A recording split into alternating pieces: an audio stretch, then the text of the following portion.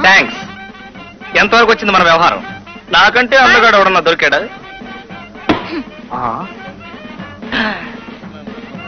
ఈ గులాబీ భానుని ఇవ్వమనండి. మీరిస్తే బాగుండదు. ఏ? ఎందుకని? ఎందుకంటే మీ అందం ముందు ఈ గులాబీలు ఏడ్చినట్టుగా ఉన్నాయి.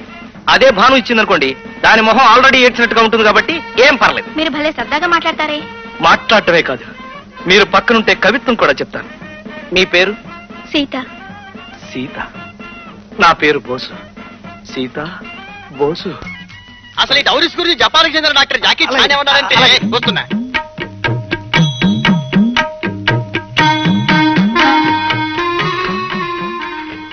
మన్మథ రేఖ నా చేతిలో కూడా అచ్చు ఇదే రేఖ ఉంది. ఆ రేకుంటే ఏమవుతుంది?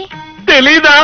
అదే రేఖన్న వాళ్ళిద్దరూ పెళ్ళి చేసుకుంటే ఒకటే అదృష్టం ఒకటే సుఖం ఒకటే పిల్లలు ఐ మీన్ మగ పిల్లలు ఛీ, మీరు ఇలా మాట్లాడుతుంటే సిగ్గేస్తుంది. అయితే నన్ను పెళ్ళి చేసుకుంటావా? ఛీ, పోండి. ఆహా నువ్వు సీతవి నేను రాముణ్ణి. విల్లు విరగవలసిందే ఈ పెళ్ళి జరగవలసిందే. ఛీ, ఆ, మ్మా! ఏమిటి సీత నిన్ను పెళ్ళి చేసుకుంటానని ఆటలు పట్టిస్తున్నాడా?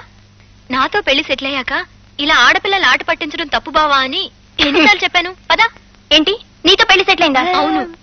ఎంగేజ్మెంట్కి దగ్గర బంధువులే పిలిచాం. మన ఫ్రెండ్స్ ఎవరికీ తెలీదు. సీత ఆ మాటలు నమ్మకు. అన్ని అబద్ధాలే. ఇలాంటి విషయాల్లో నా జోక్ చేసేది? సీత! ఆ! నువ్వు కొట్టావా? నేనేమన్నా మృదంగానా? ఇద్దరు వాయిస్తున్నారు. ఆ నాకన్నా ముందే పెళ్ళి చేసుకుందావనా అదేం కుదరదు. అబ్బా! నువ్వు చేసుకోవు ఇంకోరిని చేసుకోనివ్వు. అసలు? నువ్వు చెప్పిన విషయం గురించి రాత్రంతా ఆలోచించాను. అమెరికా వెళ్ళడానికి ఇంకే దారి లేదు కాబట్టి నువ్వంటే పడకపోయినా నీతో పెళ్ళి ఒప్పుకుంటున్నాను యాహూ!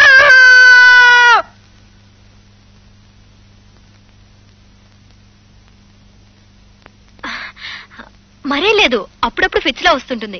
చిన్నప్పటి నుంచి అంతే. కాసేపట్లో సరైపోతుంది. మీరు వెళ్ళండి. నాకు ఫిట్సా మన పెళ్ళి జరగాలంటే కొన్ని కండిషన్స్ ఉన్నాయి. ఏమిటా కండిషన్స్? మన ఇద్దరి మధ్య అది ఉండదు. ఏది ఉండదు? అబ్బా ఉండండి. అదే అమృతాంజనం. ఓహో అమృతాంజనం అంటే అదే అదే అమృతాంజనమా? మరి అమృతాంజనం లేకుండా పిల్లాడు ఎలా పుడతాడు? దానికి నా దగ్గర ఓ ప్లాన్ ఉంది. ఏ?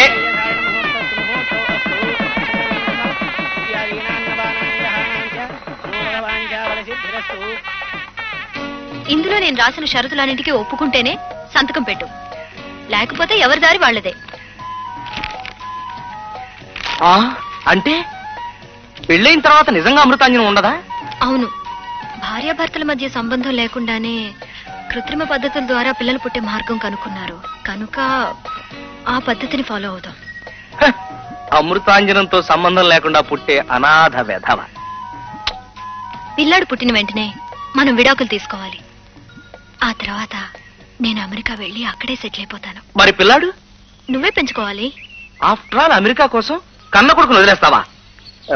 పోనీ ఓ పని చేద్దాం. నా పాతిక లక్షలు కూడా నీకే ఇచ్చేస్తాను. విడాకులు తీసుకోకుండా ఇక్కడే ఉండిపోరాదు. ఎందుకంటే I really love you. I really hate you. చిన్నప్పటి నుంచి నువ్వంటే నాకు అసహ్యం. అబ్బా! చిన్నప్పుడు ఎప్పుడో నీ బుగ్గ కొరికానని ఇంకా నువ్వు నన్ను అసహించుకోవడం అన్యాయం భాను. పోనీ చేయి. నువ్వు కూడా నా బుగ్గ కొరికి దానికి దీనికి చల్లు. ఆ. అమ్మా! అమ్మా! అయ్యో! ఈ వెధవేషాలు నా దగ్గర సాగు. సంతకం పెడతావా లేదా? సరే. పెడతామండి